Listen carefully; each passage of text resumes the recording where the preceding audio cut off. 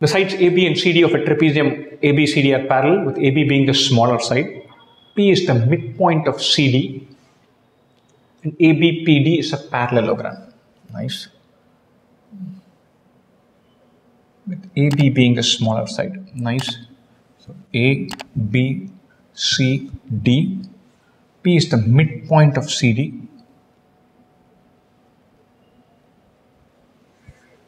ABPD is a parallelogram. It's So parallelogram, so this should be X. Nice.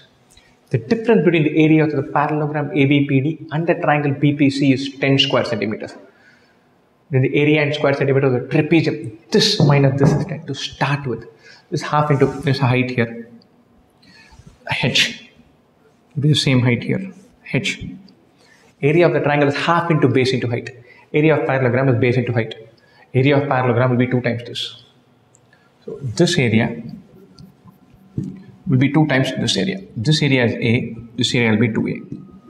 The difference is 10 or A is 10, this is 20. 20 minus 10 is 10. Then the area in square centimeter for trapezium ABCD is 30. 20 plus 10, 30. Lovely easy question. Just knock it off the park.